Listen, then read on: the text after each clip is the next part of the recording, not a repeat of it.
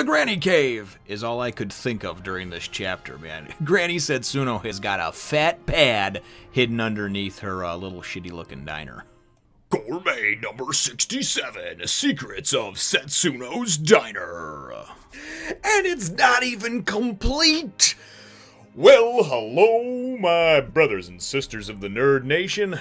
I, as always, am Jim here to bring you another review on the awesome, mouth-watering, and just ingredient-filled tale of Toriko.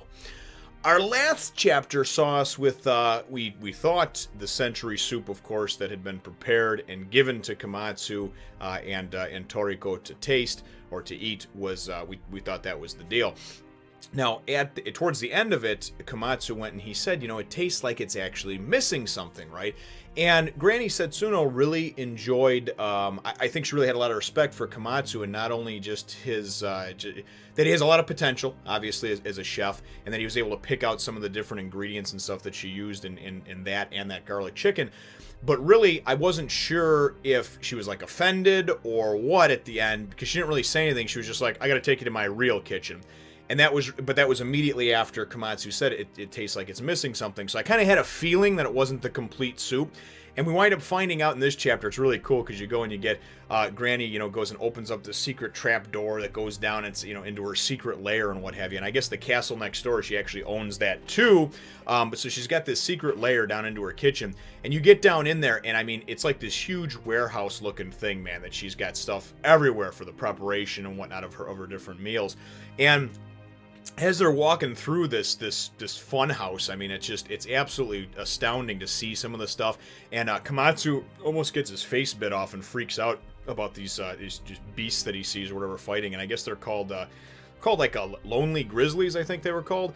And uh, and apparently their meat's very tough normally, but if you actually go and pit males against each other, so they fight and whatnot for a certain amount of time, an undisclosed amount of time, um, there's there's this one this small window of a few minutes where their meat becomes super tender, and that's when you knock them out and, and obviously you know take the meat, prepare them, whatever.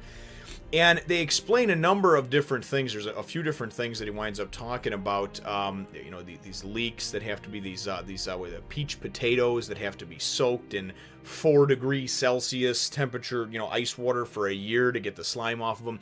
And I guess these things kind of fall under the uh, you know the uh, requires a special attention or extra preparation. But really, it's it's a testament to Granny Setsuno and just how much of a badass chef that she actually is. Um, you know, to say that she's a rock star or a legend or a living legend or whatever the hell you want to call her uh, is an understatement. She knows things about these ingredients that, that probably no one else in this world knows, you know? And it's really cool to see, just to see all this different stuff. And then, then just, like I said, I love just the, the background, the depth and the detail uh, that, that is given you know, and it makes it sound believable, makes it sound plausible, makes it sound like these things are real, you know? And because a lot of them are rooted in real things, you know, like peaches and potatoes are real, there's no peach potatoes, but realistically it's cool because the explanation makes so much sense that you're like, oh yeah, that sounds legit, sounds legit, you know? so, um, so we get this little kind of walk around tour of this just grand, you know, underground area that she has there. And then, so then Komatsu's like, once he talks to Toriko about a few of these different things, he's like, oh, I see, that's why she's only open once a month, because it takes so long to prepare everything, right? And she's like, and she comes swinging in like George of the Jungle on this rope, you know, from across this other platform, and she's like, no, that's not it, wrong. swings back across the rope and says, come on, follow me this way. So uh, they, they, they, follow her and what have you, swing across. Komatsu almost falls. Toriko catches him, you know, and they go into this other room. And she explains to Komatsu, she says, really, I just kind of manage things over here. The ingredients, she says, there's no chef in the world that's that's worth his, his own salt that actually believes that the chef makes the ingredients and pairs them. She says that the ingredients choose the customer. The ingredients choose the other ingredients, and the chef is basically just there to kind of guide them and put them into place. And it's a really neat explanation when you think about it because it's basically like, hey, listen, she's saying this a lot of this stuff is out of my hands uh, it's really kind of like when the ingredients, you know, tell me that they want to be eaten, when they want to be prepared. Then I come and prepare them. That's when I open up. And it's like I said, it's a real neat explanation to it because some of this stuff, uh, you know, it's gone to such great lengths to go and create uh, this world and and all these different ingredients, and that, that's what this whole whole manga is based on, right? Is these various just crazy fucking gourmet ingredients. So to to go into think that you know that, that that's how things are prepared and, and it's funny because there's a lot of parallels to, to chefs in real life. A lot of a lot of chefs really truly believe that it, it's not the way that they prepare things it's just it's it's it's the it's the pairing of the ingredients that would have naturally happened and this and that. They almost feel like they're just sort of a guide uh, you know guiding them on their on their food journey you know? So i thought that was cool.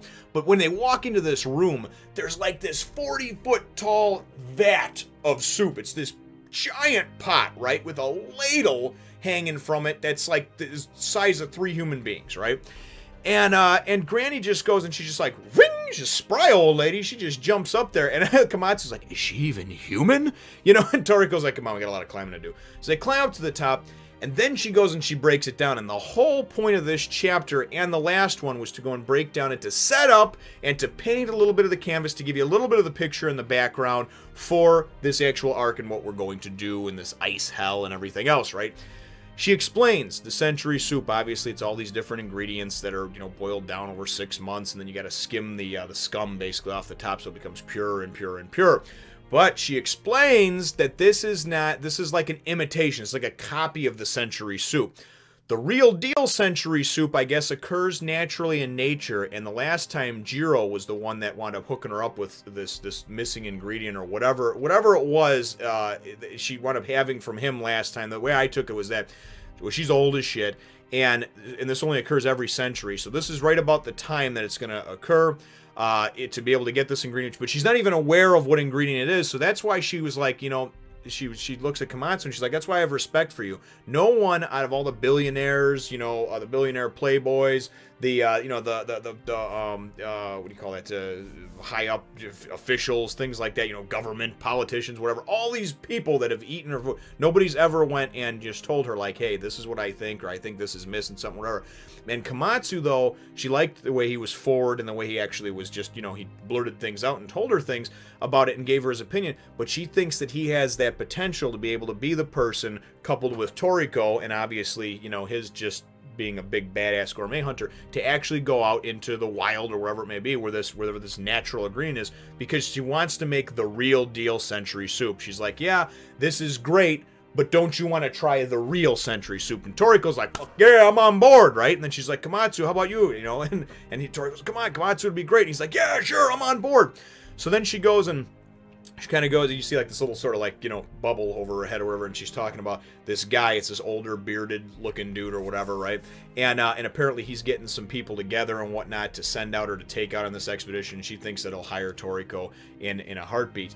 And like i said this is the whole deal. This is the whole thing. This is painting the picture for us now because whatever this missing ingredient is um, she doesn't even know what it is but this is what's going to go and take us on our journey. And it really like i said it just it does a great job. And i like too how it he doesn't it, it doesn't bother him if there's like you know if he spends two or three or four chapters kind of going and building that building that hype building it up. Because the chapters are still so interesting for me anyway that it doesn't really matter. It doesn't matter if people are getting thrown around and toriko's punching guys in the face and everything else. That's cool but really, for me, it's all about the explanation. It's all about the world. It's all about the ingredients. It's all about those type of things. So having this get set up like this and realizing that this is a once in a hundred year chance type of thing has got me freaking stoked, brothers and sisters. I was gonna say brother, but uh, there's obviously sisters as well of the nation. So according to uh, you know YouTube statistics, 24% now.